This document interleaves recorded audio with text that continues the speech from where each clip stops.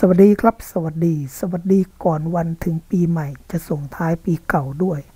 และก็สวัสดีปีใหม่ด้วย เพราะว่าคลิปนี้มันก็ต้องผ่านข้ามปีเก่า ไปเป็นปีใหม่ด้วยเช่นกัน ก็เลยต้องสวัสดีทั้งสองอย่างนะครับ ทั้งปีเก่าและปีใหม่ด้วยเช่นกันนะครับ คลิปนี้ก็เหมือนเดิมครับ ก็ดูลายมือเหมือนเดิม เพราะว่าทำเกี่ยวกับลายมือ จะไปดูนักร้องนักแสดงเต้นรำมันก็ไม่ใช่อีกละนะครับมือตัวอย่างที่ลงให้ดูนี่นะครับ เส้นที่โดดเด่นที่สุดหน้า พอมองแล้ว มันจะมาอยู่ที่มือขวานะครับ เส้นฝั่งของมือขวา โดยเฉพาะเส้นสมองนะครับ โดยเฉพาะฝั่งของเส้นสมอง เส้นสมองแบบนี้นะครับดูจากต้นเส้นและเส้นสมองแล้วก็ต้องบอกว่า เป็นเส้นสมองที่มีความโดดเด่นนะครับมือข้างขวานะต้นเส้นชีวิตกับเส้นสมองผมว่าเป็นคนที่ทำอะไรแล้วมีความคิดอ่านรอบคอบ ด้วยความละเอียดอ่อนปราณีตระวังตัวดี ต้นเส้นใหญ่แล้วค่อยๆ ลดหลั่นเล็กลงเล็กลงตามลำดับ บ่งถึงความฉลาด การเรียนรู้ในสิ่งใดก็เข้าหัวไว ส่วนเส้นสมองที่ดูมีเส้นขแขนงตาตามที่ฉีดไว้ให้ดูนะครับ ออกมาชัดเจน เส้นดูอ่อนเอ็นบ่งถึงงานที่ต้องใช้สมองมากกว่าใช้แรงกายนะครับ และเป็นงานที่ต้องใช้ความละเอียดอ่อน ความใส่ใจในการทำงานอย่างมาก เส้นสมองแบบนี้มักจะอยู่บนมือของคนที่ทำงานเกี่ยวกับด้าน นักวิเคราะห์ นักวิจัย หรือนักวางแผนนโยบาย นักการตลาด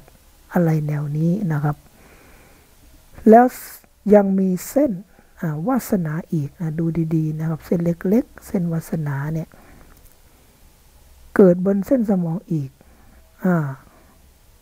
มันก็ย้ำย้ำถึงงานที่ทำเนี่ยว่าต้องใช้สมองอย่างชัดเจน Okay. Yeah. อาทีนี้พอเหลือบมองย่องมาดูเส้นชีวิต ไม่ปกปิดความเป็นไปทั้งซ้ายขวา ดูแข็งแรงตลอดแนวในแถวเส้น บ่งถึงความเป็นสุขภาพ ร่างกายที่แข็งแรง ไม่เปลี่ยนแปลงวิถีชีวิตบ่อยทำสิ่งใดมีเป้าหมายตั้งเป้าหมายไว้ก่อนเสมอ แบบนี้เรียกว่า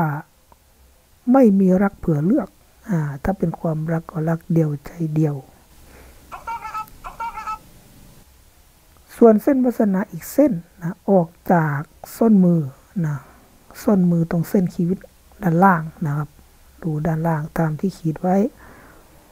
ก็จะใช้เป็นเส้นสีน้ำเงินนะครับ บ่งถึงงานที่ทำด้วยความร้อนใจหรือเร่งรีบเป็นบางครั้ง ดูความปลอดภัย ดูตรวจคุณภาพของงานนะดูคุณภาพของงาน ตลอดนะคือสิ่งสิ่งที่เจ้าตัวทำและ สัมพันธ์กับหน่วยงานข้างนอก นอกองค์กรด้วย งานที่ติดต่อบ้าง เป็นงานที่ต้องติดต่อเดินทางบ้าง เป็นบางครั้งนะครับ เพราะว่าจะมีเส้นเดินทาง ที่เอาสีส้ม ขีดเอาไว้ให้ดู ทั้งเส้นยาวและเส้นสั้น จะวิ่งเข้าหาเส้นวาสนานั่นแหละนะครับ แล้วก็มีเส้นธุรกิจ ออกจากเส้นชีวิต เส้นนี้จะแทนด้วยเส้นสีฟ้า หมายถึงสิ่งที่เจ้าของมือนี้ต้องทำจะเป็นงานในลักษณะที่ว่า ต้องใช้ความรู้ความสามารถของตัวและประสบการณ์ของตัวเองที่ได้เล่าเรียนมา ใช้ในการทำงานด้วย อันนี้คือแนวของเส้นพุทธหรือเส้นธุรกิจนะครับ ทีนี้พอหันไปมอง ลองดูเส้นอาทิตย์ เกิดบนเส้นสมองนะเกิดบนเส้นสมอง งานที่ต้องใช้นี่ตัวนี้นี่มันก็จะเกี่ยวกับเรื่องความสร้างสรรค์ ความละเอียดอ่อนอีกเช่นกัน มีเร่งรีบอีกร้อนใจอีกเช่นกัน The miracles of numerology and palm readings. อ่าสังเกตดูมันก็จะมีอีกเส้นที่เป็นแนวลักษณะเส้นเฉียงๆตัดมาที่เส้นอาทิตย์ แล้วก็มีเส้นเชื่อมลงไปในช่องเสียหายด้วย ไอ้ตัวที่มันเส้นขีดตัดตัดๆมีน้ำหนักเนี่ยนะ มันเป็นว่างานที่ได้รับมอบหมายมานั้นนะผู้ที่มอบหมายงานมานั้นนะเป็นงานที่ค่อนข้างจะเหนื่อยงานที่ต้องคุมเข้ม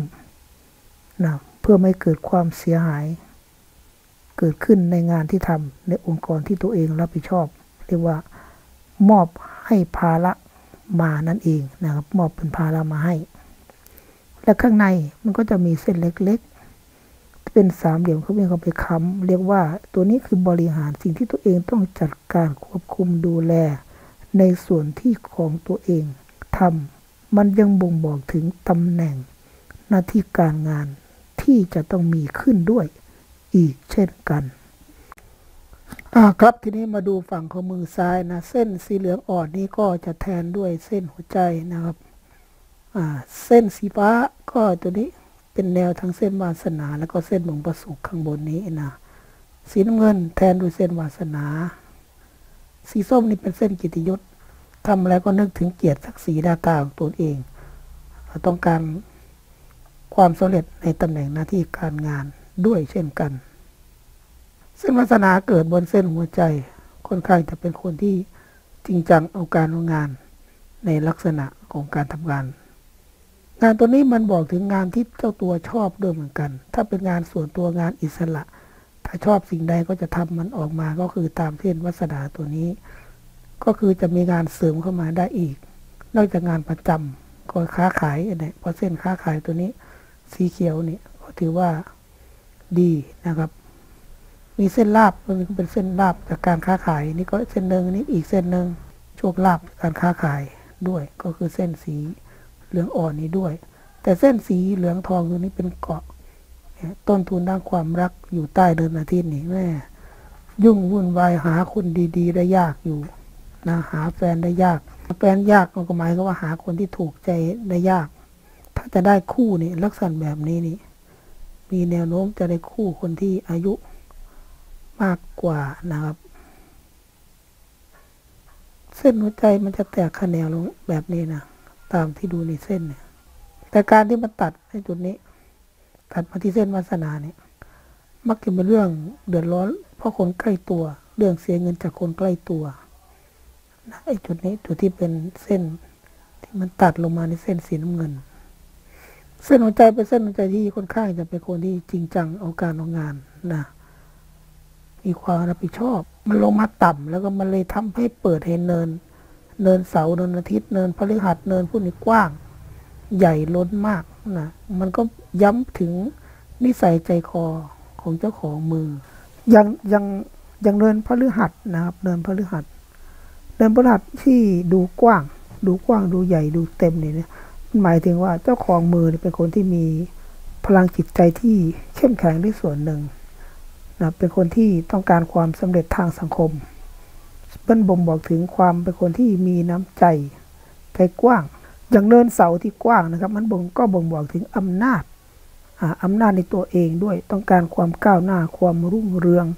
ของเจ้าตัวนะคือบ่งนิสัยก่อน ถ้าเส้นดีเส้นสวยถ้าเส้นดีเส้นสวยอย่าง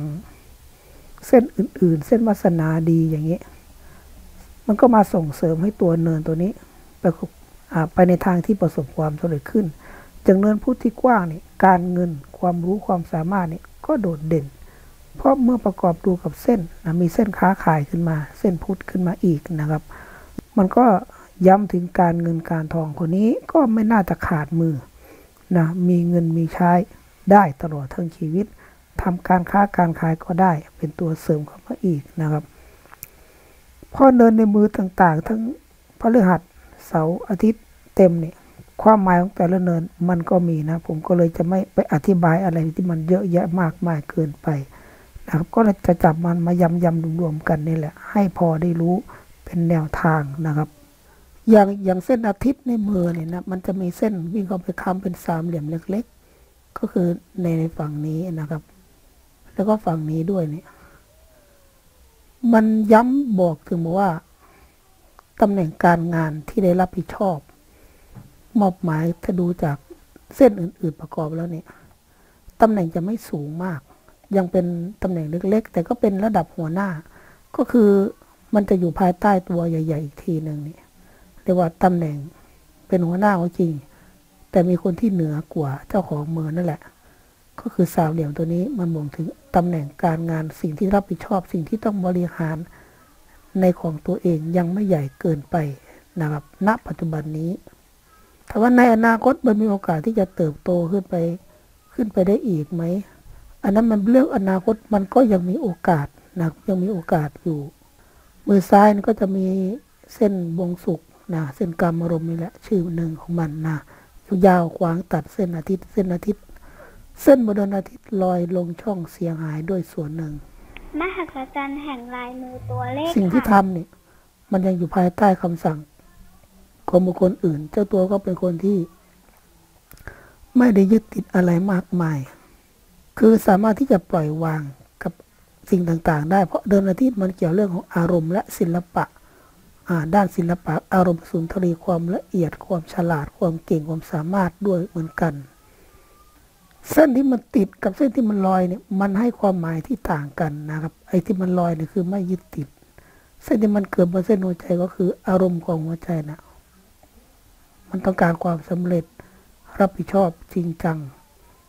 มันยึดติดอยู่เนี่ยอย่างมือขวาเนี่ยสิ่งที่ยึดติดสิ่งที่สิ่งที่ต้องการเนี่ยมันก็ต้องอาศัยบุคคลอื่นนั่นแหละ สนับสนุนด้วย เช่นกัน แต่เส้นวงสุขเส้นการอารมณ์นี่แม่ยาวขวาง ถ้าพูดถึงอารมณ์ความรู้สึกของผู้เป็นเจ้าของมือ มันก็มีหลายอย่าง ถ้าเป็นงานก็คืองานที่อ่าทำงานอะไรที่มันละเอียดอ่อน มีความปราณีตได้ดี มีอารมณ์สุนทรียรักสวยรักงามแต่งตัวดีการต้องการชีวิตคู่ที่ดีความรักที่ดีมหัศจรรย์แห่งลายมือตัวเลขค่ะ เส้นสีเนี่ยเป็นเป็นแนวของของเส้นวาสนานะเส้นนี้ ริมอะ ต้นกำเนิดเนี่ยมันอยู่ในฝั่งเดินอาทิตย์ อ่า แสดงว่ามันมาเข้ามาเกี่ยวข้องกับตัวนี้แล้ว ความสำเร็จเนี่ย ความสำเร็จเนี่ยมา มาฝั่งเดินอาทิตย์ อารมณ์ จริงจัง ศิลปะ ความรู้ ความสามารถ มีความรุ่งเรือง ความก้าวหน้า จะได้ขึ้นไปอะไรขึ้นได้อีกนี่จากใจจากความรู้สึกของเจ้าของมือ มันเป็นลักษณะของวาสนา มีความรุ่งเรือง ต้องการความสำเร็จ ความก้าวหน้าในตำแหน่ง ถ้าอายิ่งอายุมากขึ้น เพราะปัจจุบันนี้อายุยังไม่ถึงเส้นนี้นะ ปัจจุบันนี้แต่พอเข้าสี่สิบเมื่อไหร่นั่นแหละไอ้ตัวนี้แหละอาจจะส่งผลต้องการความสำเร็จมากขึ้นเมื่อบวกกับวาสนาเสียเงินอีกเส้นหนึ่งนั่นหมายความว่า งานตำแหน่ง สิ่งที่จะเกี่ยวข้องกับยุตรงนี้มันจะเป็นงานส่วนตัวงานประจำมันย่อมจะนำมามีทั้งความสำเร็จ มีทั้งความเร่งรีบให้กับตัวเอง ราะหัวใจตัวนี้ อารมณ์ตัวนี้ มันจะเป็นตัวขับเคลื่อน ผู้เป็นเจ้าของมือ ในความรู้สึกอีกทีหนึ่งว่าต้องทำไปแบบไหน ต้องดิ้นรนแบบไหนนะครับ พอเส้นที่มันมาเป็นองค์ประกอบให้เกิดความสำเร็จหรือ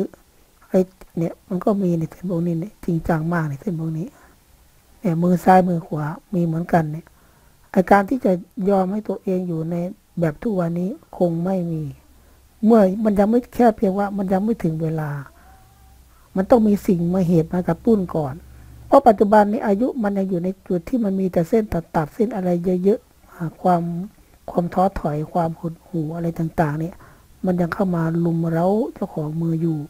เมื่ออายุเข้าสี่สิบเมื่อไหร่นั่นแหละอ่าความคิดมันจะเปลี่ยน ความคิดเปลี่ยนการกระทำก็จะเปลี่ยนความพยายามก็จะมากขึ้น ความสำเร็จมันก็จะมีตามเส้น เพราะเนินมันเต็มดีอยู่แล้ว เส้นก็ไม่ได้เสียหายอะไรมากนะครับ ถ้าหลังสี่สิบขึ้นไปนี่จึงย้ำว่าคนนี้ความสำเร็จในตำแหน่งการงานในสิ่งที่เจ้าตัวทำมันย่อมจะมีรออยู่ในวันข้างหน้าอยู่แล้วนะครับถามว่าอุปสรรคเยอะไหมที่ผ่านมาเอาก็เยอะอยู่ครับนี่ตั้งแต่สามสิบสองขึ้นมาแล้วเนี่ย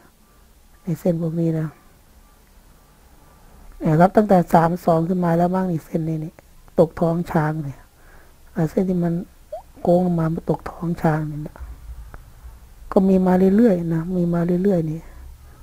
จนถึงปัจจุบันเนี่ยสามหกสามเจ็ดแล้วเนี่ย จึงยังไม่พ้นจึงบอกว่าถ้าช่วงหลังสี่สิบขึ้นไปนู่นน่ะต้องอายุหลังสี่สิบขึ้นไป เส้นปัญหาต่างๆ มันจึงจะน้อยลงนั่นเองนะครับ แต่มือซ้ายก็มีวาสนาลำบากอันนั้นเป็นวาสนาเพื่อผู้อื่นนะครับวาสนาเพื่อผู้อื่นเนี่ย ตัวนี้โค้งโค้งๆเรื่อยเลยนะ ไม่ผ่านเส้นสมองสักสองเส้นนะ ตัวเส้นวาสนามือซ้าย แต่ปลายเส้นวาสนามือขวา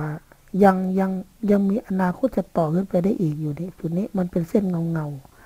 อ่า เส้นมันก็ว่ามันน่ากำลังจะเพิ่มต่อยอดขึ้นมาอีกทีหนึ่งเข้ามาหาตัวนี้เนี่ยมันจะเข้ามาตัวนี้อีกใต้เส้นสมองเนี่อาจจะยาวออกมาได้อีกอยู่นะ ตัวนี้ก็เลยเป็นจุด มันจะเป็นจุดเพิ่มเข้ามาอีกทีหนึ่ง มันก็เลยจะกลายเป็นจุดดีเข้ามา ให้เจ้าของมือนะเพราะถ้าเส้นมันต่อขึ้นมาในลักษณะแบบนี้นี่นะครับอ่าถ้าเส้นมันต่อขึ้นมาแบบนี้นี่มันก็ถือว่าจะต่อยอดทางความคิดเพิ่มขึ้นไปอีกด้วยเช่นกันอ่าเกี่ยวกับเรื่องการงานนั่นแหละนะครับอย่างอย่างเส้นหัวใจมือข้างขวาเนี่ยแม่จริงจังมากเลยนี่เส้นนี้กระตือรือร้นมากนะในลักษณะของการทำการทำงาน สรุปโดยรวมของมือนี้แล้วไม่มีอะไรหวือหวามาก ก็เป็นไปตามปกติชีวิตตื่นมาเช้าไปทำงาน มีงานประจำแล้วก็มีงานเสริมค้าขายเข้ามาอีกนะกลับบ้านก็พักผ่อนนอนไปเที่ยวไปนั่นไปนี่ธรรมดา ไม่มีอะไรหวือหวาโลดโผนโจรทยานนะครับเออนอกจากอุปสรรคในในการทำงานนั่นแหละ อุปสรรคความเครียดปัญหาต่าง ๆ นี่มันตรงกันกับมือซ้ายมือขวาก็ไอ้เส้นที่ขวางๆนี่นะครับ ตั้งแต่สามสิบสามสิบสามเอ็ดขึ้นมาเนี่ย เจอมาตลอดนะแต่พอหลังสี่สิบหลังสี่สิบเส้นตัดจะน้อยลง เส้นอุปสรรคเส้นประสาทสมองเส้นเครียดอะไรพวกนี้เยอะในในช่วงนี้ทั้งมือซ้ายมือขวานะครับ ครับทั้งหมดทั้งมวลก็มีโดยประมาณนี้นะครับ